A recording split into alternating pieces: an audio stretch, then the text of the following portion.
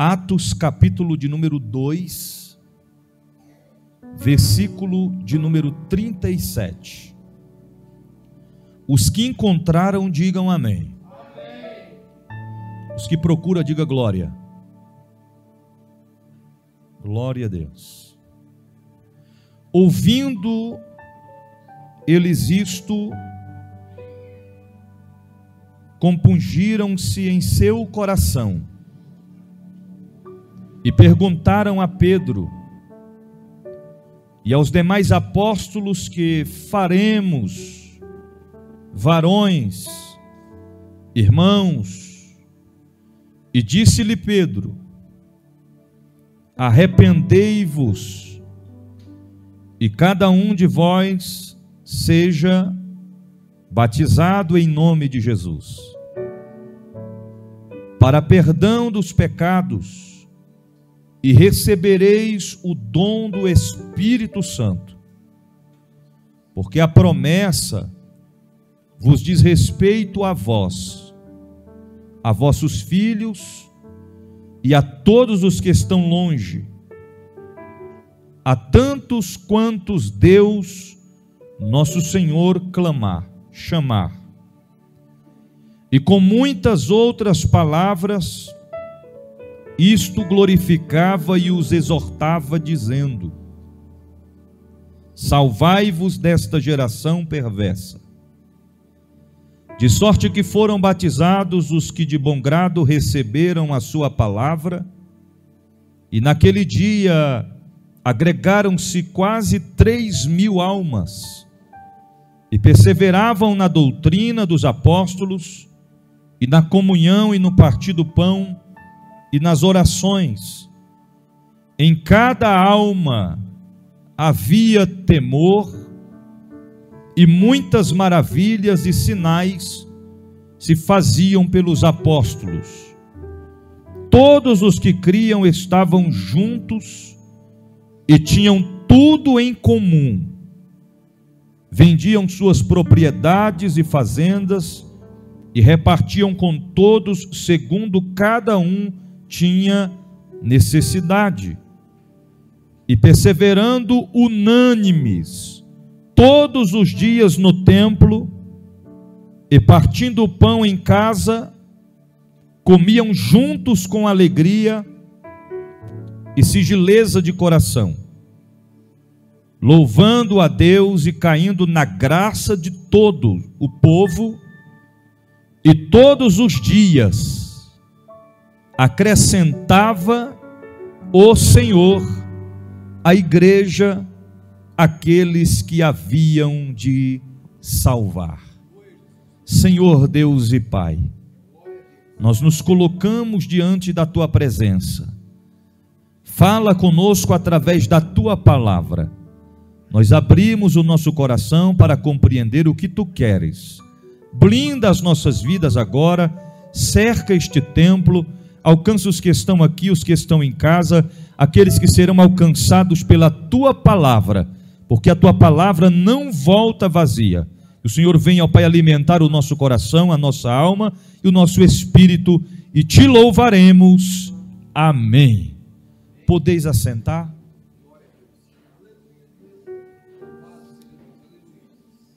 Meus irmãos, nós estamos em uma noite de campanha, e o tema desta campanha fala a respeito da queda do gigante. Ao mais frisar, o gigante vai cair. É de grande importância a gente trazer uma observação já de início, que muitos se alegram quando se fala a respeito da queda do gigante. Tem irmão que já fica logo, já caiu. Outro diz, vai cair hoje. Muitos até vibram, comemoram, gritam, bradam dizendo: o gigante vai cair. E sem sombra de dúvidas, nós estamos aqui nessa noite, nesta campanha, porque nós verdadeiramente acreditamos queremos, almejamos, torcemos para que realmente o gigante venha cair. Não somente um gigante, mas todos aqueles que se levantarem contra a nossa vida, no nosso caminho, todos esses gigantes devem cair por terra para a glória de Deus. Mas através da mensagem que Deus colocou ao meu coração nesta noite, nós vamos aprofundar e compreender com base bíblica como, de qual maneira, de qual forma possamos fazer para que estes gigantes venham cair por terra. Porque a Bíblia expressa falar a respeito do gigante como tema base desta campanha, fala sobre o gigante Golias que Davi enfrentou e venceu naquela época. Mas hoje nós vamos estar falando ao seguinte tema: como vencer os gigantes da atualidade. Nós estamos falando dos gigantes da atualidade. Na época de Davi, o gigante era aquele homem imenso, grande, que afrontava o exército de Israel, pedindo apenas um homem que pudesse enfrentá-lo, e nenhum do exército do, dos israelitas tiveram a coragem, a determinação de se dispor a enfrentar aquele gigante que afrontava o exército do Deus vivo. Mas hoje nós vamos fazer aplicação um texto bíblico falando a respeito dos gigantes da atualidade. Querido, todo gigante ele tem suas armas. Todo gigante tem sua forma de agir, de trabalhar. E nós estamos falando a respeito do inimigo de nossas almas, o diabo, a antiga serpente, o inimigo ele é estrategista, ele tem suas estratégias. Ele tem o seu plano, ele arma, ele traça um propósito, um plano, uma armadilha. Algo que possa de todas as maneiras nos parar, nos deter, nos impedir, acabar com a nossa vida espiritual e acabar com a nossa comunhão com Deus. Então eu já quero lhe antecipar que gigante não se vence no grito. Gigante não se vence na força do próprio braço. Gigante não se vence com conhecimentos humanos ilimitados. Gigante se vence usando as armas que Deus nos dá. É dessa forma que nós vamos vencer os gigantes da atualidade.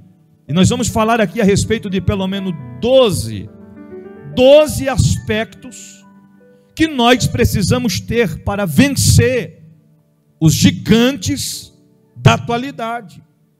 Porque o texto base que nós acabamos de ler está falando que algo de algo que aconteceu depois da descida do Espírito Santo de Deus, quando todos estavam reunidos no mesmo lugar. O texto base que nós estamos frisando aqui está falando a respeito do discurso de Pedro, quando veio em defesa, porque muitos pensavam que aqueles homens cheios da presença de Deus estavam embriagados, mas eles não estavam embriagados. Então Pedro tomou aqui algumas atitudes que nós, como si, como um todo, a igreja do Deus vivo, precisamos tomar na nossa vida. Se não tomarmos estas atitudes, este comportamento, você pode até gritar: o gigante vai cair. O gigante vai olhar para você e vai dizer: uh, ah, eu não caio. Mas vai cair. Ele vai: não caio. Porque tem que ter sabedoria e direção de, de Deus. Então, primeiro, primeiro, como vencer os gigantes da atualidade? Primeiro aspecto, eles atenderam a chamada ao arrependimento. Não tem como vencer gigantes sem arrependimento. Arrependimento de quê, bispo? Arrependimento de pecados, arrependimento de transgressões, arrependimento de discussões, de discórdias, arrependimento de conduta, comportamento impróprio na presença de Deus, arrependimento de conduta, de irresponsabilidade para com os compromissos e a fidelidade para com Deus e para com as coisas de Deus Observa o que está escrito no versículo de número 30 e 8, 38. Atos 2, versículo de número 38. Me ajuda ali, pastor Inaldo. Nós vamos lendo conforme for os pontos para nós compreendermos. Versículo de número 38. Olha o que Pedro inicia dizendo a eles. Pode ler, pastor, só a parte A. E disse-lhes Pedro: Arrependei-vos. Ok. O que, que disse Pedro? Arrependei-vos. Por quê? Estes homens, este povo, eles queriam ter um encontro com Deus vivo. E eles perguntam aos apóstolos, eles perguntam aos discípulos, o que eles deveriam fazer. Então vem a resposta de Pedro dizendo: primeiro, arrependei-vos. Tem que ter arrependimento. Quando não se tem um arrependimento, querido, as coisas já estão de maneira desenfreadas. Isso são nos mínimos detalhes que nós imaginamos ou não imaginamos. Precisamos fazer as coisas de Deus com seriedade. As coisas de Deus para com a nossa vida não é apenas é, prioridade, mas devem ser exclusividade na nossa vida. Nós vivemos em meio a uma geração, em uma época que tem uma pequena partícula dentre os tais de pessoas que vivem uma vida constantemente longe, distante da presença de Deus. Mas em contrapartida a isso, elas dizem: Eu quero que o gigante caia. Eu quero que o gigante que se levantou contra a minha vida caia por terra. Ah, é? O Senhor está dizendo então, primeiro, arrependei-vos das práticas ilícitas dos pecados ocultos, os pecadinhos de estimação, dos maus comportamentos. Arrependei-vos. Eu quero que o gigante se arrependa que, o gigante tomba. Eu quero que o gigante caia por terra. Ah, é? O Senhor está dizendo: primeiro se arrependa do que, bispo? Da onde você está andando? Com quem você está andando? Porque tem lugares, tem ocasiões, tem certos ambientes que não cabe a um servo, a uma serva de Deus estar presente. Não cabe, irmão. Aí não adianta dizer, eu quero que o gigante tomba. O Senhor está dizendo, quer que o gigante tombe, ele vai tombar. Mas primeiro, arrependei-vos. E não tem arrependimento sem renúncia. Arrependimento tem que ser acoplado à renúncia, a deixar, a abandonar, a renunciar, a rejeitar tudo aquilo que nos torna longe e distante da comunhão com Deus. Então, em primeiro lugar, como fazer, como vencer os gigantes da atualidade? Arrependei-vos. Isso, irmão, é uma abordagem de palavra que não se prega hoje em dia. É muito difícil você ver. Por quê? Porque não faz a gente entrar no manto, missionária Terezinha. Não faz. Eu não vejo um crente se retorcer e dizer, dá vontade de correr na nave da igreja com esta palavra. Não dá, irmão. A gente tem que ser sincero, porque evangelho e a palavra, quando ela vem de uma vez só, em todos os sentidos que ela corta para lá, corta para cá, é como uma espada de dois gumes. A Bíblia diz que ela nos confronta. A palavra exortativa, a palavra de correção, ela nos inquieta, ela mexe no mais profundo da nossa alma, do nosso coração, do nosso entendimento, e nós não podemos rejeitar de forma alguma. Já falei aqui uma vez, esse tipo de palavra é aquele tipo de mensagem que vai diretamente na veia. Você está entendendo? Dói, mas faz o efeito mais eu lembro quando eu era criança que eu estava doente, que mamãe me levava para o hospital para consultar no médico, e eu já disse, mamãe, não quer levar injeção, não, mamãe, mamãe disse, não, meu filho, vai ser só aquele comprimidozinho é, é, rosinha, chega lá, vai botar na boca, vai diluir, é só aquilo ali, então tá bom, mamãe. Quando chegava lá no médico, e vinha aquela, a, aquela enfermeira com aquela injeção desse tamanho, ainda vinha ameaçando, ameaçando, como é que elas ameaçam, bicho?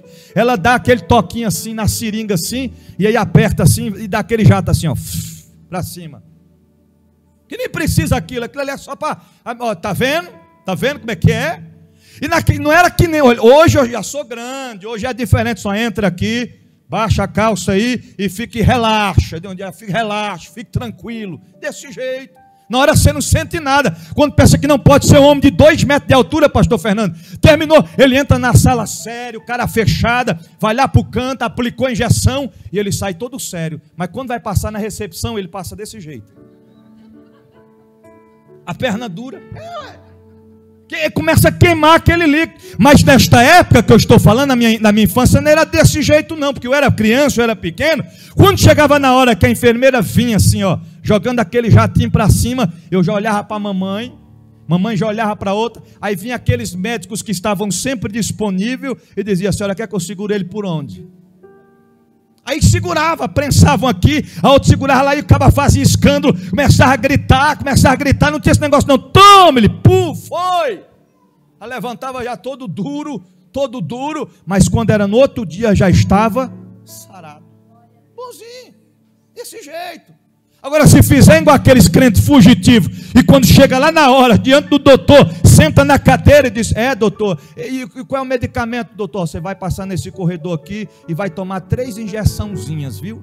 Vai ser rapidinho, você vai sarar logo, logo. Ok, doutor, obrigado. Aí pega a receitinha, dá uma olhadinha assim se tem alguém vendo e ó, foge, para não tomar injeção. Então, a palavra desta noite é mais ou menos desse jeito. É uma injeção que vai na veia, mas que trata. Por quê, bicho? Porque este tipo de palavra não faz a gente entrar no manto, mas faz a gente entrar no céu de glória, na eternidade com Ele, diante da Sua presença, para a glória de Deus. Como vencer os gigantes da atualidade? Segundo lugar, recebendo a palavra. Vamos ler, pastor Inaldo, versículo de número 41, a parte B. Os que de bom grado aí. Então vai lá, vai lá, Ferdinando. Os que de bom, bom grado aí no versículo 41. E perseveraram na doutrina dos apóstolos. 41, perdão de sorte que foram batizados os que, de bom grato, receberam a sua palavra. Ok. Quem foi batizado? Os que receberam. Aqui na minha tradução diz assim: os que de bom grado receberam a palavra. Está entendendo, Maria Isabela e Isabela Isadora? Os que receberam a palavra. Esses foram batizados foi de bom grado, eles receberam. A, a, palavra foi pregada, a palavra foi ministrada e eles de bom grado. Opa, missionária Terezinha, foi boa a palavra. Gostei da palavra. Que maravilha de palavra. Ah, é? Então, aí vai ser batizado. Em outras palavras, recebeu a palavra, o gigante vai cair. O gigante vai tombar. Agora, esse negócio de fim a palavra se alimentou da palavra, quando pensa que não, faz igual menino de pirraça, mete o dedo na goela e vomita. Faz igual aquele povo que foi para o banquete lá. Na época de Daniel, que eles comiam, o banquete que o rei Belsazar deu para todos, que eles comiam, se enchiam, e depois metia o dedo na goela, vomitava, comia, metia o dedo na goela e, movi, e, e vomitava. Não podemos fazer isso nos dias da atualidade, porque a gente temos que se alimentar da palavra, para não sermos crentes anêmicos, para não sermos crentes desnutridos espiritualmente, falando. Falando, irmão, é uma realidade. Tem igreja que, se você pregar um tipo de palavra dessa daqui, se eu for lá, eu não volto mais nunca. Volta mais nunca, porque já estão acostumados com todinho, com leitinho, com açúcar. Já está acostumado com aquele, aquele mucizinho de morango. Mas quando você chega com que? Um mocotó e uma buchada de bode, ela diz: Não, aqui não dá não. Põe para correr. Põe para correr. É desse jeito.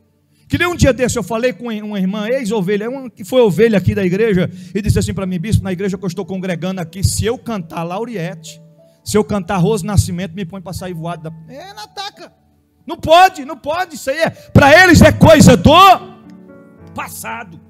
Agora é só louvor da atualidade. A gente pula, a gente roda, a gente corre, bate palminha. Eu sei que isso faz parte porque o crente tem que ser feliz. Mas você vai cantar lá esses louvores da antiguidade, mas são louvores puros que tocam na alma. Eles vão olhar e vão dizer: Ah, não, isso é cafona. Isso é da década de 90, do ano 2000. Isso não se canta mais, querido. Se canta porque o louvor não é do homem para o homem. O louvor é do homem para Deus. Quem recebe é Ele, é dele, por Ele. E para Ele são todas as coisas. Eles receberam a palavra. Será que nós estamos prontos para receber a palavra? Porque quando a palavra ela toca na nossa ferida, ela vai direto e nos confronta em alguma coisa da nossa vida em que nós estamos com pendência, com pendência. Às vezes tem pendência que ficou ali, você ainda não percebeu que tem umas pendências que tem que acertar com Jeová. Está pendente, está dizendo, eu quero que o gigante caia. Mas o Senhor está dizendo, primeiro acerta as pendências. Primeiro acerta. Não pode deixar nenhuma pendência para trás. Não pode. Não pode, irmão. Pagamos o documento do carro, quase um ano depois nunca atualizou. Falei, tem alguma coisa errada? Aí entrei em contato, em contato com o Detran, uma multa em 2018. Falei, oxe, comprei o carro já depois de, depois de 2018, comprei em 2019. E o que, que eu tenho que ver com essa multa? A multa nem foi minha, o carro nem era da concessionária, o carro era do antigo dono. Aí foi simples. A mulher falou assim: você faz o seguinte: se você pagar, atualiza, quita a pendência. E se eu não pagar, fica com a pendência para sempre. Então tem coisas que é assim. Não adianta a gente fazer 30 campanhas, a gente subir 30 vezes no monte, se não, se não resolver as pendências. É simples. Resolva as pendências hoje. Resolva, irmão. Tem que resolver as pendências.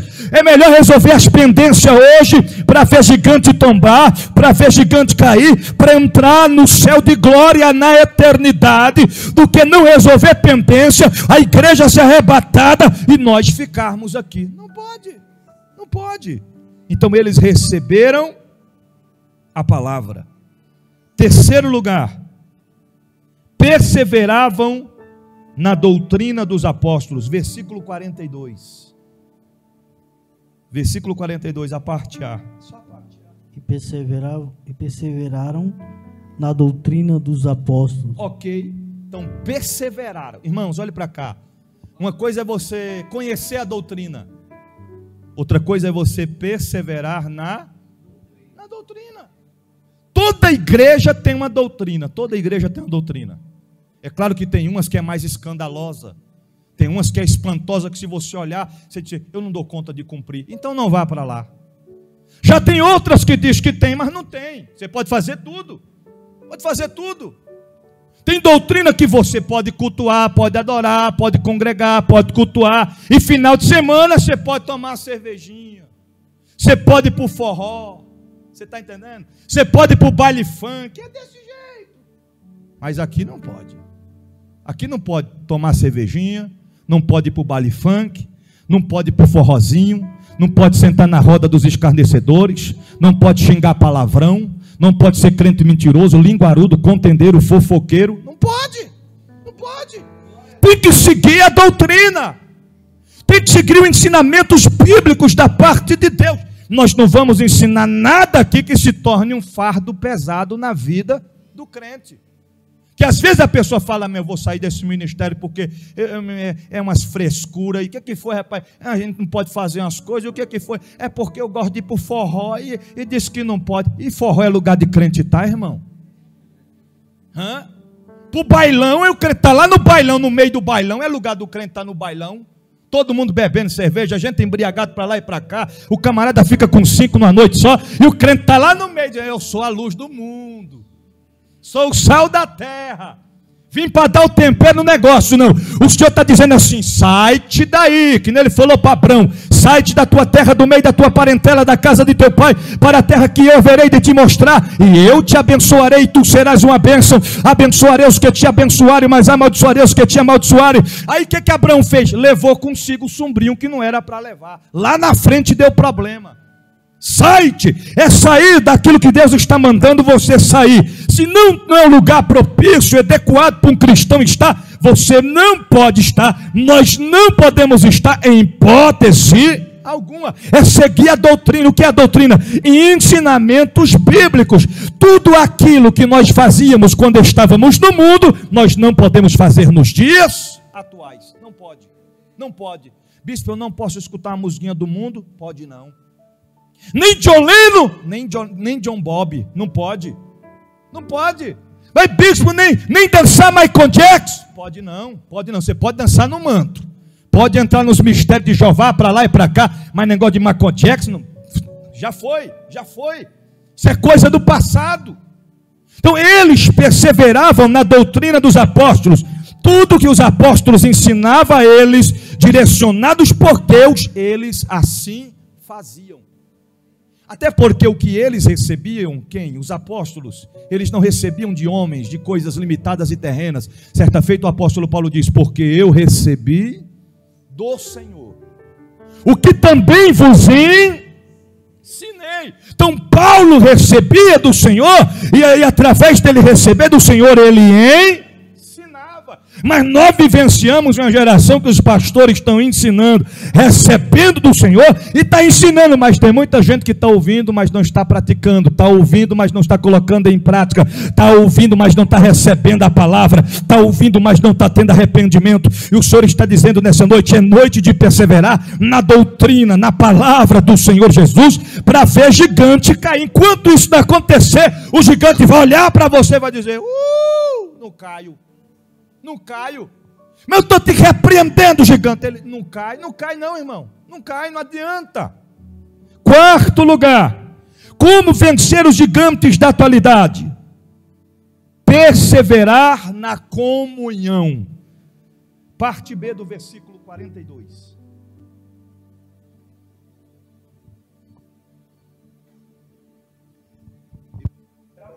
E no partido e na comunhão. E perseveravam na doutrina dos apóstolos e na comunhão. Ok, então eles perseveravam na doutrina dos apóstolos e em que mais? Comunhão. Então, olhe para cá. Eu quero que o gigante caia, eu quero ver o gigante tombar. Ah, é? Então, se você ficar sem falar com o seu irmão, o gigante vai olhar para você Não caio. Está com raiva do irmão. Porque tem crente que passa 10 anos, 2 anos, 3 meses, um ano sem falar com o seu próximo. Não fala. Eu não quero nem conversa. Pelo menos o básico você tem que falar, irmão. Paz do Senhor. Tudo na benção. Aí que crente é esse que roda na igreja, fala em línguas estranhas, profetiza, revela os mistérios, os mantos sagrados, mas quando passa pelo irmão na rua, se vê, é Rosinha, vira a cara. Se Rosinha tem a paz do Senhor, finge que não viu não dá a paz do Senhor. Que tipo de crente é esse? Tem que ter comunhão, irmão. Comunhão é unidade. Comunhão, a própria palavra de Deus diz que nós temos que ter comunhão com Deus e com o nosso irmão. Tem um hino que canta mais assim, não é? Tenha paz com Deus, meu irmão. Tenha. Tem alguém dessa época aí? Meu irmão, tenha paz consigo Aí, aí, aí, de sobremesa, já vai ainda disso, com seu inimigo e com seu irmão. Você, até com seu inimigo você tem que ter comunhão.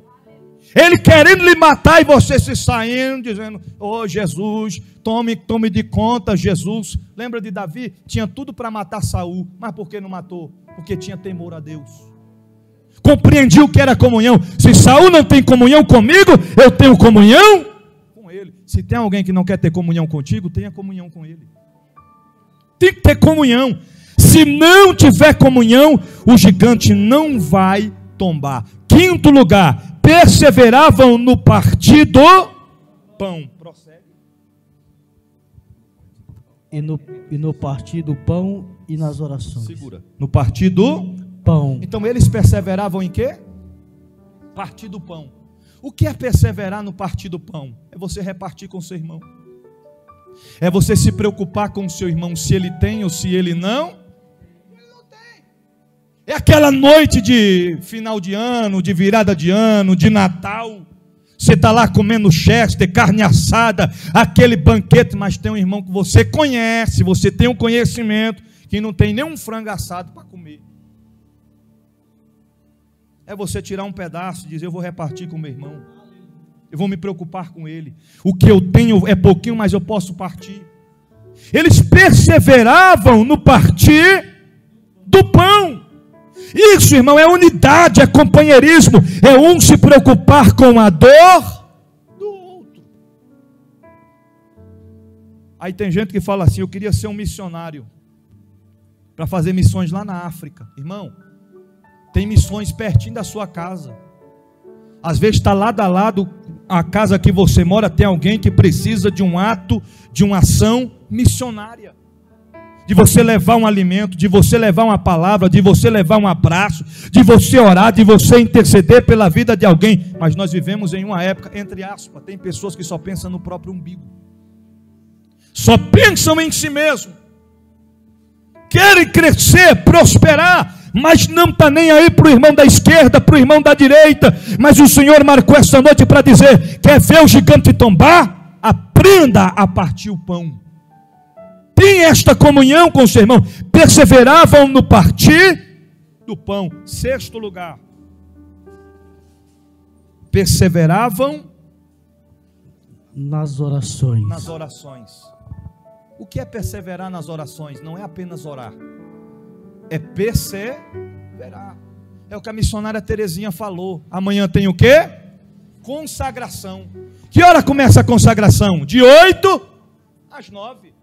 Mas aí não, o irmão vai falar assim: o ensaio é 9, eu só vou 9. Uma horinha de diferença. Uma horinha de diferença. Sem falar que tem gente que não consegue orar nem 10 minutos. Não consegue. 10 minutos orou e disse: Nossa, eu já orei demais. Meu Deus do céu, cansei. 10 minutos. Orar, irmão, é dialogar com Deus. Eu vou citar um exemplo aqui para você. Se eu quiser falar com Wagner, eu que quero falar com com Wagner, o que, é que eu tenho que fazer? Ir até ele. Ou então eu pego o telefone e ligo. Wagner, ô oh, Wagner, eu queria falar contigo, Wagner, um assunto para a gente tratar. Não é desse jeito? Agora tem gente que diz: Eu quero que o Senhor fala comigo, eu quero falar com o Senhor e eu quero que o Senhor fala comigo. Aí o que, que ele faz?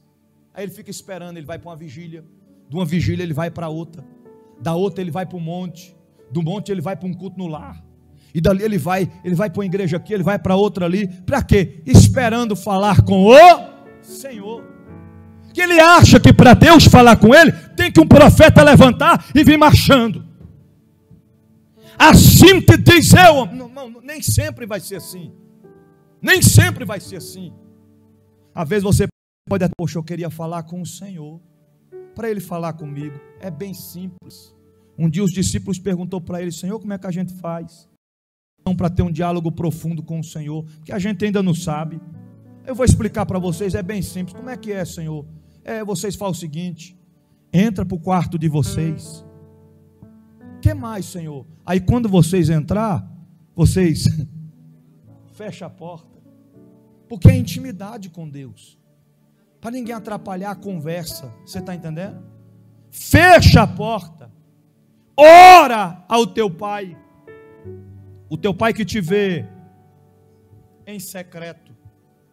Tem coisas que com Deus é somente no secreto. Porque tem coisa que você não vai contar para ninguém, é só entre você e, e ele. Sabia que tem oração de guerra que tem que ser no silêncio? Orar em espírito. Ana sabia disso. Lembra quando Ana pediu um filho ao Senhor? Como é que era a oração de Ana? Senhor, dai-me o filho, Senhor varão, Samuel. Entregarei ao Senhor, Senhor. Era assim que Ana orava? Não porque Ana sabia que na mesma proporção que o inimigo tinha suas estratégias, ela tinha que ter as dela também. Porque nem tudo você deve contar para alguém, ou nem tudo alguém deve ouvir e escutar de você. Então Ana orou somente nos seus seus lábios, no seu coração. Aquela oração em espírito. E Ana estava desse jeito assim só.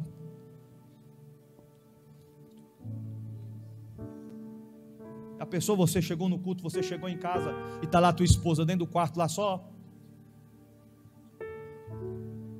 Aí o crente vai olhar e falar: Ué, está ficando doida, é? Está conversando sozinha, é? Não está girando bem das ideias, não. Foi o que aconteceu com Ana. Só mexia os lábios. Aí ele chega e fica olhando. Ô Ana, tu estás embriagada, Ana. Deixa-te embriagar-se com vinho, Ana. Diz, Senhor, meu Senhor, meu Senhor, pelo amor de Deus, meu Senhor, cadê a falta de visão?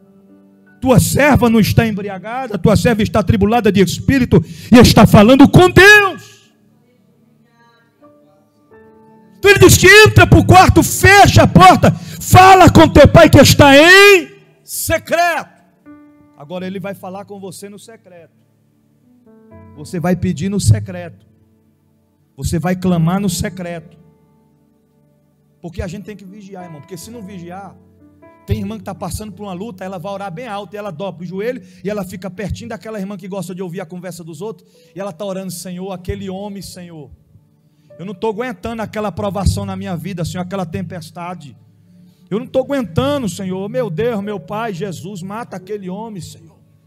Aquele homem me azunhou ontem, Senhor. Aquele homem me maltratou que só ontem, Senhor. Eu não estou aguentando aquela praga, Senhor. Mata. Oh, meu Deus, tem misericórdia da tua serva que clama, Senhor.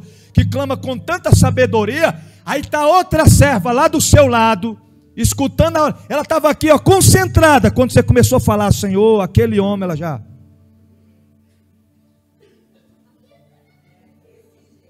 E aí, se você for para virar ela já, ó, ó para lá está fechado o olho, para cá está aberto. E o ouvido está mais, as orelhas estão tá mais em pé do que a de jumento. Só escutando a oração. Hã? Porque tem uns profetas pega-pega. Não sei se você já ouviu falar nos profetas pega-pega. Eu vou lhe explicar como é que é o profeta pega-pega. Ele está escutando tua oração todinha. em vez dele falar com Deus, ele está ouvindo a tua oração. Tá? E ela está lá, Senhor, essa dor de cabeça que não passa, Senhor, por causa dessa luta, dessa prova. Ela escuta. Aí, beleza. Aí ela é estrategista, ela espera passar dois cultos. Aí ela toma a cena no meio do culto. Assim diz o Senhor, minha serva, fica de pé. Aí a irmã fica de pé, ela diz: Eu sou Deus que estou entrando lá na tua casa para tratar com aquele homem. E ela, uh, meu Pai, foi Deus, é Deus ouviu minha oração. Eu sabia, Senhor. E essa dor de cabeça vai passar hoje, minha filha. Oh, meu Pai, foi Deus que falou, meu Pai. Eu recebo. E a vitória é sua. Quando você chegar em casa, o homem está transformado, minha filha. E ela sai da igreja alegre, contente, sonhando. Sonhando. Quando chega em casa, pastor o homem está mais brabo do que já estava. Aí tem gente que fica com raiva de Deus, sai da igreja, abandona o evangelho, não vou mais servir a Deus, não porque Deus não falou comigo. Tem coisas que nós temos que aprender, que é no secreto, é no íntimo, é só entre você e Deus. Deus está falando nesta noite com alguém, Ele quer falar com você, mas Ele quer que você fale com Ele. É no íntimo, é no secreto, é na intimidade com Ele. Mas porém, quando Ele responder, vai ser publicamente o que Deus vai fazer na tua casa, na tua vida, na tua família, a queda do gigante vai ser publicamente para a glória de Deus. É preciso perseverar na oração, meu irmão. Se você um orou uma vez não aconteceu nada, continue orando. Continue orando. Perseveravam na oração. Sétimo lugar, já estou concluindo. Sétimo lugar. E cada um em cada alma havia temor. Versículo 43. E muitas maravilhas e sinais se faziam pelos apóstolos. Em cada alma havia temor. Então, em cada alma havia temor. O que é temor? Temer a Deus. Aumenta um pouquinho o fundo, filho, para cobrir o outro fundo lá do rabudão. Vai, meu filho. Deixa Deus lhe usar, vai. Aumenta o fundo. Nós cobrir esse, esse fundo de tempestade, de tribulosa. Vem lá de baixo. Aleluia. É para tirar o foco. Olhe para cá, não perca o foco da mensagem, não, que o Senhor está falando nessa noite. Façon e. Cada um, em cada alma havia temor. O que é temor? É eu fazer as coisas certas quando ninguém está vendo. É fácil você fazer as coisas certas quando todo mundo está vendo. Você está entendendo? É aquele crente, pastor Inaldo, que vem para o culto de congresso, que já aconteceu. E de repente ele senta, termina o culto, ele olha assim para a cadeira, está uma Bíblia. Ele olha e diz: Oh, Bíblia diz tudo. Eu estava precisando dessa, que providência de Deus. Dá uma olhadinha assim. Botou debaixo do braço e foi-se embora. No outro culto, o pastor pergunta: Irmão, alguém achou uma Bíblia da capa assim tal? Bíblia de estudo tal e tal e tal? Ninguém. Não, irmão, não, rapaz, como é que pode sumir uma Bíblia assim, né, irmão? Não é varão. Como é que pode um negócio. Varão, como é que um negócio desse some desse jeito, né? Tomara que encontre a Bíblia, né, varão? Hã? Ainda faz questão de levar a Bíblia na casa do amigo dele que troca a capa. Coloca uma capa diferente, toda bonita. Irmão, eu estou falando isso aqui porque acontece. Eu falo de forma geral, não estou falando aqui. Forma geral. A gente temos que ter temor a Deus. Não é pecar ocultamente, ver o que não pode, fazer o que não pode. Ah, ninguém está vendo, ninguém está contemplando. E os holofotes lá de cima estão tá olhando, Jeová está olhando, ó. Tem coisa que acho que Jeová fica espantado. Como é que pode, meu Deus? Jesus de Nazaré, não tem nem 13 anos, já está fazendo isso, meu pai. Como é que pode? Meu Deus do céu, 40 anos de idade ainda está fazendo. Meu Deus. Depois dos 60, misericórdia, meu pai. Como é que pode? E a vez está pensando, ninguém está vendo, ninguém está sabendo, ninguém está contemplando nada, mas o Senhor está vendo.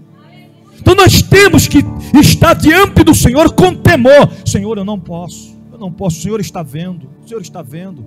Eu não vou, rapaz, toma só um golinho aí, rapaz, tá só nós aqui na festa e tal. Ninguém vai ficar sabendo, não. O principal de tudo está lá de cima, vendo e contemplando tudo. É tempo da igreja ser temente a Deus, ter temor a Deus e não praticar as ações ilícitas diante do Deus da Bíblia, porque Ele está voltando. E se nós quisermos vencer os gigantes da atualidade, nós precisamos ter o temor a Deus.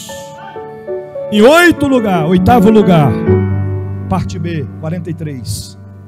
Parte B. E muitas maravilhas e sinais se faziam pelos apóstolos. E muitas maravilhas e sinais faziam pelos apóstolos. Que maravilhas e sinais era esse, irmão? Era paralítico levantando, era cego enxergando, era mudo falando, era surdo escutando, era demônio sendo expelido, era milagres acontecendo. Aí alguém pergunta: por que é que hoje em dia a gente não vê mais esses milagres acontecer? Por quê? Por que, que não está acontecendo mais? Porque os profetas da atualidade, irmão, desculpe me dizer, não estou generalizando. Eu creio que Deus usa em profecia, eu creio que Deus usa em revelação, eu creio que Deus nos chama pelo nosso nome, mas tem uma partícula de profetas da atualidade que estão se tornando os mágicos, como Simão daquela época. Tem uns profetas da atualidade que estão se virando como aquela mulher possessa por espírito de adivinhação, no qual resultou a prisão de Paulo e Silas, porque expulsou o demônio de adivinhação na vida daquela mulher. Porque é que milagres na eu quero, eu, olhe para cá. Eu queria ver um profeta desse que olha para você e diz assim: "O teu nome é fulano de tal e o sobrenome é, é Silva. E temar-me a santa. O Senhor me mostra assim uma data de nascimento, dia tanto do tal de 84. E a irmã, oh, meu pai, meu Deus é eu. Ô Jeová, meu pai, como é que pode? E o senhor me mostra que o número inicial do CPF é 03. Irmão, meu pai, me segura aqui que senão eu caio. Me segure, me segure, estou passando mal. Me segure, me segure, me segure. Aí o profeta ainda grita: E se a igreja não der glória, eu largo o microfone e vou para casa. E se eu estou no culto, eu grito e digo: Larga o microfone e vai para casa. E para de barganhar com as coisas de Deus, rapaz. Para de mentir, enganar e mexer com o emocional das pessoas. Eu quero ver esses profetas olhar e ver o cadeirante lá sentado na cadeira de roda, em vez de revelar o nome, sobrenome, o nome da mãe dele, a data de nascimento, a placa do carro e a rua onde mora, é olhar para ele e dizer: O Deus da Bíblia manda eu te dizer: levanta desta cadeira de roda e anda, porque Deus ainda é o mesmo ontem, hoje e eternamente para a glória de Deus. Por isso não se vê mais, irmão, porque não querem pagar o preço não querem se arrepender, não querem renunciar, não querem abandonar as práticas ilícitas e ficam por aí enganando um monte de gente. E o que tem de gente sendo levado para essas coisas não é brincadeira. Não é brincadeira. Não é brincadeira. A maior revelação é a palavra de. Mas na época aconteciam muitos sinais que se faziam pelos apóstolos. O Senhor ainda pode fazer hoje porque Ele é o mesmo, Ele não mudou. Ele só precisa e depende de homens que queiram realmente ter compromisso sincero com Ele, que queiram buscar uma vida de santidade e fidelidade para com Deus da Bíblia. Aleluias, aleluias. Nono aspecto, versículo 44. Todos os que criam estavam juntos e tinham tudo em comum. Ok, então todo todos os que criam, os que acreditavam, eles estavam o quê? Eles estavam o quê? Juntos, juntos. E tinham tudo em comum. Hoje em dia tem gente que até está junto. Mas se você andar com um crente que não gosta de orar, a tendência é você não orar. Se você andar com crente que não gosta de vir para a igreja, a tendência é você não vir. Se você andar com crente rebelde, a tendência é você se tornar rebelde. Você tem duas escolhas: ou você influencia, ou você é influente. Porque, irmão, o diabo sabe trabalhar. Sabe trabalhar. Pastor Carlos, que vai pregar aqui sexta-feira que vem, foi ele no mundão, olhou para mim e disse: Rapaz, ei, Joab, como é que pode, rapaz? Ele com revólver na cintura drogado, olhou para mim e falou: Ei, Joab, como é que pode? E o que, que foi, rapaz? Ele só faltou dizer: Assim te diz eu. eu falei: O que, que foi? Ele disse: Caramba, eu tô olhando para tu aqui, rapaz, mas tu tem uma cara de bandido. Tu tem tudo para ser um perigoso aqui. É, pai. Tu com um bonézão, uma barreta de madrugada, com revólver na cintura, rapaz, ninguém te segura, rapaz. Não, quando ele me falou aquilo dali, eu disse: Eu recebo. Recebo. Recebo, tomo posse. Tomo posse. Falei, vou andar contigo agora. Cadê os revólveres? Cadê as armas? Cadê os bagulhos? Vamos embora? Vamos. Vamos junto. Tomei posse. Fui influenciado em vez de influenciar. Aí passou-se os tempos. O camarada que me influenciou um dia estava na esquina de casa de terno e gravata, com a Bíblia na mão e falando sobre amigo Daniel na cova do leão. Aí eu cheguei montado na, na, eu cheguei montado na croizinha, com o revólver na cintura, tinha acabado de fumar dois bagulho, parei na esquina e fiquei olhando eles de longe e estava conversando ele e o pastor Roberto, que hoje também é um pastor, um servo de Deus, e ele dizia assim para o outro, fala, rapaz, coisa boa é servir a Deus, né? A gente nem sabia. Eu dizia, rapaz, pois agora eu, eu, abandonei as armas, agora para carregar esse armamento pesado aqui. Eu dizia, rapaz, mas que alegria que eu estou sentindo, que presença gloriosa. Aí quando eu olhei para eles, eu senti um vazio na minha alma e um vazio no meu coração, e a minha, os meus olhos encheu de lágrimas. E eu disse para mim mesmo: eu quero essa alegria para mim. Eu quero essa presença para mim. Eu estou no lugar errado, eles estão no lugar certo. É isso que Deus quer fazer na minha, na sua, na nossa vida. É as pessoas do mundo olhar para você e dizer: Eu quero que ela tenha esta alegria, esta presença, esta graça, esta diferença. Eu quero ser uma bênção também na presença de Deus.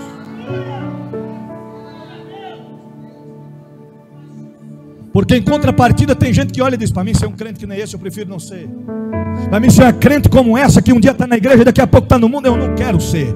Se for para mim ser crente, eu quero ser um crente de Lembra pastor Zé Leandro, pastor lá do setor 3, esposo da pastora Zumira. Um dia, primeira vez, fui na casa do pastor José Leandro. Quem conhece ele sabe, nordestino. Cara fechada. Se tu olhasse para ele, já ficava com medo. Eu falei, Senhor, me dá estratégia. Eu comecei a pregar para ele. Ele disse, meu filho, eu já conheço a palavra. Falei, ok. Quer aceitar Jesus? Ele disse, quero não. Falei, rapaz, estava bruto. Diz para iniciar, vou logo antecipar lhe dizendo: agora eu não quero. Mas gostei da sua palavra, palavra boa. Eu vou pensar. Mas quando eu decidir, eu quero para ser um crente de verdade. Beleza, vim para casa, passou-se um dia de culto. Aí um dia ele me telefona e diz: É, bispo, eu é pastor, não é, é pastor. Já tomei a decisão, viu o que foi? Agora eu vou ser um crente de verdade. Agora eu vou fazer aliança com Deus. E fez aliança com Deus, está até hoje firme trabalhando na obra do Senhor. Deixa eu concluir aqui, que senão a gente vira vigília. Décimo lugar, repartiam com todos, segundo cada um tinha necessidade. Versículo 45. Vendiam suas propriedades e fazendas e repartiam com todos, segundo cada um tinha necessidade. Ok, naquela época faziam isso. Agora alguém fazer isso hoje? Vender a propriedade, partir no meio e dizer: quem está precisando de uma parte aí? Eles faziam isso, irmão. Hoje em dia tem crente que não consegue repartir nem um, nem um pacote de feijão, nem um pacote de açúcar, nem um pacote de arroz. Que diz, não, vai, é, vai faltar amanhã, amanhã vai faltar, não vamos repartir, não, pode não, não pode, pode não, porque depois da manhã vai faltar, não vai. Irmão, mesmo Deus que cuida de hoje, Ele cuida de amanhã, porque o amanhã pertence a, a Ele. Pertence a Ele. É desse jeito. Eu lembrei-me de manhã agora. Amanhã meu pai chegava, meu bem, acabou o óleo. Não, meu bem, tem óleo mais não. Pai, e acabou o café? Acabou o café. Manhã veio do Nordeste com medo de passar fome. Meu pai fui lá, comprava óleo, comprava café. Quando foi um dia, meu pai abriu o, o armário embaixo. Disse, Minha filha Teca, tu está fazendo um armazenamento para ano, para quantos anos? Para 10 anos, né? Aquela multidão de óleo, multidão de açúcar, multidão de arroz, ela só estocando com medo de passar fome. Aleluia. Querido, Deus cuida de nós hoje, Ele cuida amanhã também. Parta o pão de vida, a tua bênção com seu irmão. Faça diferença na terra dos viventes.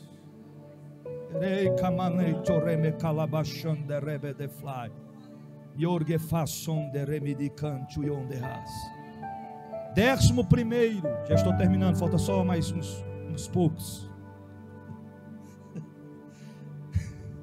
e perseveravam unânimes todos os dias. Todos o quê? Vamos lá, versículo 46, lê para nós, versículo 46. E perseverando unânimes, e perseverando unânimes todos os dias no templo e partindo o pão em casa, comia junto, com alegria e singelo de coração. Ok, então perseveravam unânimes todos os dias, aonde? No templo, não era em casa. Todo, porque tem crente que vem uma vez na semana diz: "Ô oh, rapaz, já estou tão cansado, né? A gente cultuou tanto, uma vez, duas vezes no mês. Tem crente viajando que ele vem duas vezes no ano. É, irmão. E aquele crente que não vem para os cultos, não tem essa informação, que depois fica com. Eu não, tu não fiquei sabendo. Como é que eu não fiquei sabendo? Como é que vai saber se tu não vem nos cultos? Teve reunião, não fiquei sabendo. Como é que pode? Não sabia da reunião? Irmão, você não vem nos cultos, como é que você vai ficar sabendo? Então eles perseveravam unânimes aonde? No templo. É a importância de congregar, é a importância de cultuar no Aí tem, tem gente que eu sou a igreja. Eu sou a igreja. Então vamos fazer o seguinte, irmão. Se nós somos a igreja, quem se destaca aí para ser a igreja, a gente vamos devolver a loja para a dona, não vamos mais pagar o aluguel, menos aluguel, menos despesa com luz e água, menos despesa com tudo. E agora todo mundo vai cultuar lá no irmão. Ele é a igreja. Ele é a igreja. É. Agora não vai, como é que vai caber todo mundo nele, se ele é a igreja? Não é verdade? Primeiro que não dá para a gente entrar, o único que entra é o Espírito Santo de. Nós precisamos de um templo para adorar a Deus. cultuar a Deus no templo, estar presente no templo. Eles perseveravam e eram unânimes. Não tinha aquele negócio de um, dois ficar de fora, não, era todos. Todo culto. Vamos fazer a chamada aqui. Elionaí.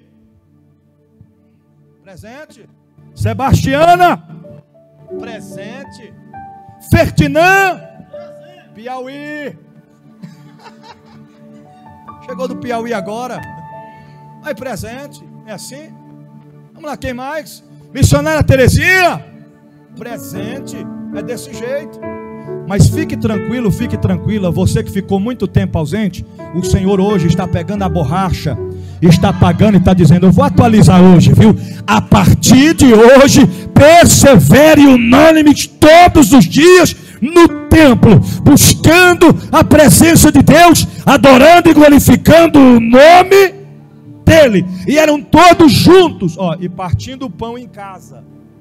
Comiam juntos com alegria e sigileza de Có. Podemos destacar isso aqui, os cultos nos lares. Ah, se hoje não tem culto no templo, vamos para o culto no lar. É desse jeito. E era com alegria, com sigileza, de coração. Não era aquele negócio de está se arrumando e disse, oh, rapaz, vontade, nem queria ir para o culto, estou indo forçado, só estou indo porque é o jeito eu estar tá lá. Não tinha esse negócio não, irmão. Não tinha esse negócio não. Está entendendo? Eu só vou porque fulano vai, só vou porque... Não, não tinha esse negócio, não era de coração. Hoje eu vou para o culto. É que nem aquela palavra, alegrei-me quando me disseram, vamos à festinha. É assim? Não, porque tem gente, tem crente que só se alegra se for para festa. For para festa ele se alegra. Você está entendendo? Eu gosto de pegar o crente na armação. É quando você chega para ele e fala assim: irmão, você vai fazer alguma coisa amanhã? Que horas? Mais ou menos umas 8 horas da noite. Na manhã eu estou livre. Eu acho que no pensamento é assim: vai chamar para um banquete. Deve ter um jantar lá, um almoço me esperando. É, com certeza. Na manhã eu estou livre. Livre e leve. Ah, é? Era o que mesmo? Não é porque vai ter um culto no lar e também vamos expulsar uns demônios depois do culto?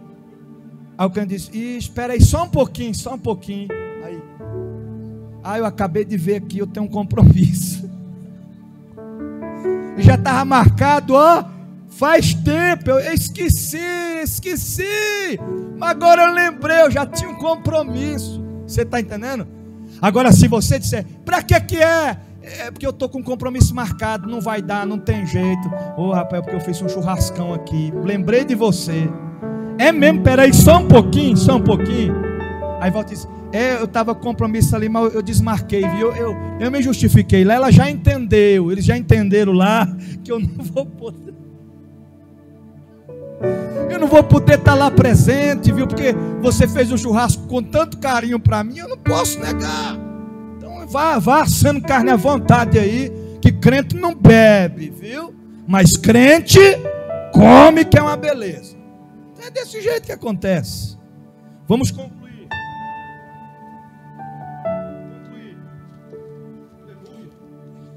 Anotei para não esquecer. Décimo segundo e último lugar. Versículo 47. Vamos lá, Ferdinando. Não consegui passar para o outro obreiro. O homem está emocionado. Louvando a Deus.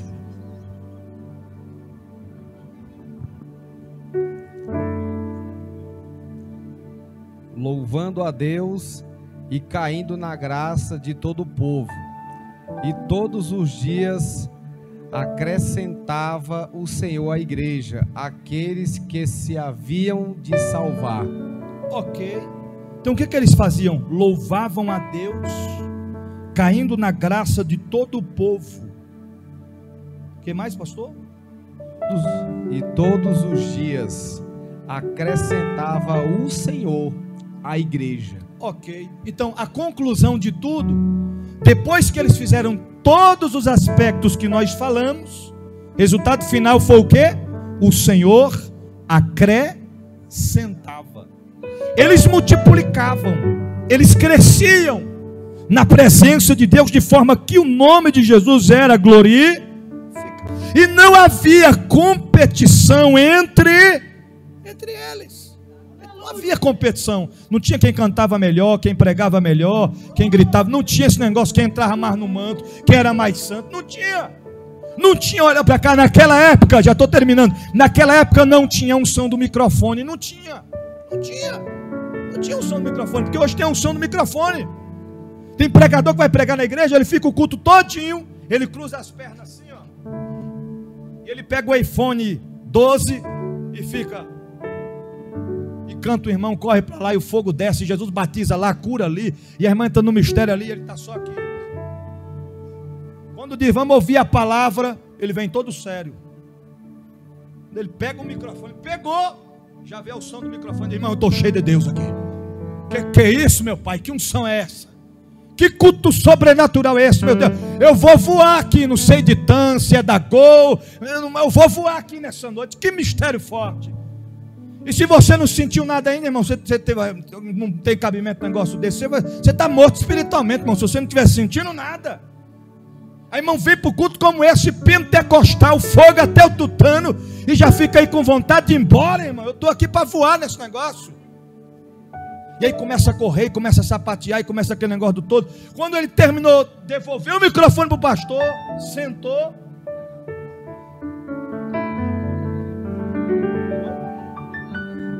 Bateria acabou, pronto, pifou. Acabou o fogo. Agora imagina se, ó, se eu, se eu sou na época do mundão, quando eu era do mundão, que o camarada só olhava para mim, eu já, o que foi que você está olhando, rapaz? Quando não cobria na coronhada, era assim, quando estava no mundão era desse jeito, mas Jesus transformou. Se eu na época do mundão, missionária Terezinha, topasse com um pregador desse, na rua falar, mão pro alto, mão pro alto, bora rapaz. Aí pegava logo aquele, aquela super cola, super cola, e colava o microfone na mão dele. Falava, pronto. Agora, quando tu for para o trabalho, para a rua, para a faculdade, só vai, tu vai estar tá sempre cheio do manto, cheio do fogo. Para tudo quanto é lugar. Ninguém tira o microfone da tua mão. Quando tu chegar na igreja, é só plugar o cabo lá. Já vai estar tá sempre cheio da presença. Não tinha isso nesta época aqui. Nesta época, irmão dando glória aqui, o outro dando glória de lá. Era o outro chorando daqui, o outro chorando de lá. Era a presença de Deus tomando conta do ambiente. E o nome de Jesus sendo glorificado. Eu encerro a minha fala dizendo que nessa época aqui não tinha espaço. Não. Quando o gigante ia fazer isso aqui, ó. Quando o gigante ia fazer isso aqui, já caiu. Não dava. Não dava. Não tinha espaço para ele. Não tinha.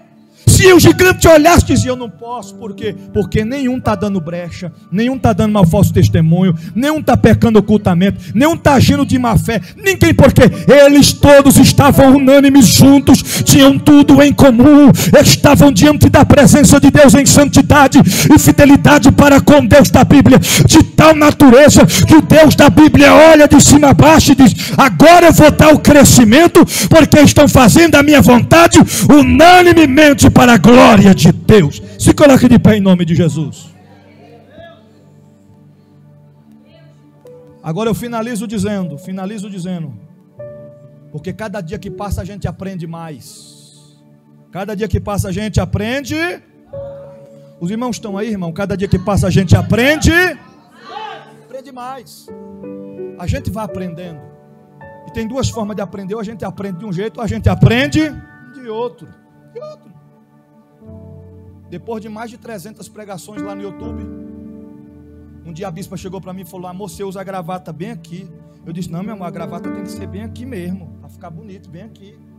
Ela disse: Não, está errado. Eu disse: Não, é aqui, a gravata tem que ser aqui. Porque a gente tem dois, dois jeitos de aprender: eu aprendo um jeito, eu aprendo do outro. Aí eu não quis ouvir a minha companheira, a minha princesa, o meu amor. Aí uma irmã pentecostal foi e comentou lá no vídeo disse: Pastor, não é uma crítica, não, viu? Mas é só uma observação, viu? Não é uma crítica, mas a gravata no meio fica meio esquisito, né? O certo é lá na fivela do cinto. Aí eu fiquei tão sem graça, não falei nada. Falei com a bispa, amor, ficou legal. Arrumei assim, ela disse, é, o certo é desse jeito, né? O que que foi? Eu disse, não, porque uma irmã falou lá, o negócio era desse jeito, sabe? Ela disse, tá vendo? Tu não quer ouvir a, a esposa, a companheira, aí dá nesse negócio. Você tá entendendo? Essa semana alguém comentou lá, disse assim, esse negócio de ficar mandando os outros repetir demais fica tão chato. Diga isso, irmão, assim, não sei o que, você está entendendo? Aí eu estou parando agora com esse negócio de mandar vocês repetir, para não ficar, não ficar tão chato, para ficar menos chato. Só teve uma recomendação que um falou assim, e esse negócio de dizer, olha para mim, olha para mim. Bem, esse negócio não, não Wagner, não tem como não dizer. Que às vezes você está pregando aqui, quem está em casa não vê vocês aí. Você está pregando aqui, está tá aqui cheio da presença, está se empenhando na mensagem, e o crente está lá, ó. Tal, e termina o culto, e a gente vai jantar, e, e vai ser aquele banquete, vai ser tanta maravilha. Aí você tem que dizer: Ei, olhe para cá, olhe para cá. Desse jeito, que é para você ficar conectado na palavra. Levante as suas mãos para o céu, eu quero orar por você agora. Senhor Deus e Pai, a tua palavra foi aplicada, ministrada aos corações. E possamos colocar em prática tudo aquilo que foi ministrado nesta noite porque o Senhor falou poderosamente conforme o teu querer e a tua vontade. Firma os nossos pés na rocha que é Cristo Jesus, e possamos ter uma vida de compromisso, ó Pai, e de fidelidade para com o Senhor, te buscando em espírito e em verdade. Meu Deus, fortalece o que está fraco, enche o que estiver vazio, alegra o que estiver triste, e que o teu poder e a tua presença venha sobre nós. Eu declaro a tua bênção, a tua providência sobre a tua igreja, e possamos ouvir esta palavra e aplicar em nossas vidas, e possamos obedecer os teus mandamentos, e possamos ser o exemplo dos fiéis. É o que nós ministramos e profetizamos a tua bênção nesta noite, em o nome do Senhor Jesus, em o nome do Senhor Jesus. Amém e amém. Tem alguém nessa noite que queira fazer uma aliança com Jesus? Que depois desta palavra se candidata a morar no céu? Tem alguém? O Senhor está te dando a oportunidade de um novo recomeço nesta noite. Não importa o que você cometeu, o que você fez ou como você está. O Senhor te chama porque quem faz a obra é o Senhor. Quem convence, quem transforma, quem liberta, quem restaura é o Espírito Santo de Deus. Aonde é que está você que queira fazer uma aliança com Jesus nessa noite?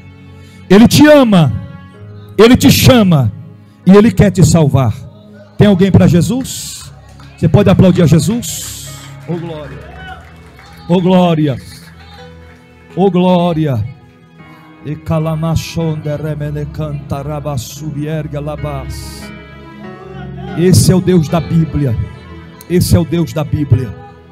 Uma alma vale mais do que o mundo inteiro. O inimigo perdeu mais uma vez. O reino de Deus ganha e o nome de Jesus é glorificado. Estenda as vossas mãos para cá. Vamos orar pela Alessandra.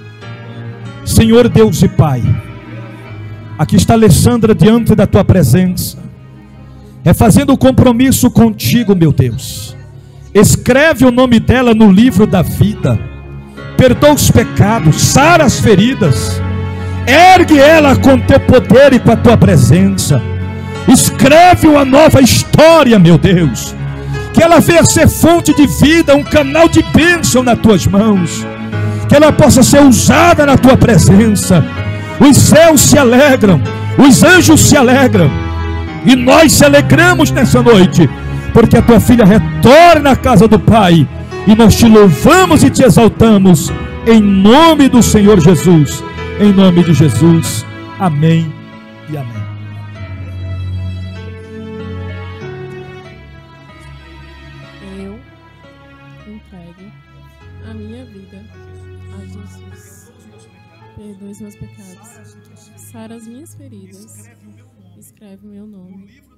livro da vida. E eu te servirei. Amém. Abraça ela aí. Seja bem-vindo a este lugar de gente feliz. Glória a Deus. Guarde esta palavra no teu coração. E uma vez guardando-a, coloque em prática. Porque não podemos ser apenas ouvintes, mas sim praticantes da palavra do Senhor Jesus. Amém, meus irmãos?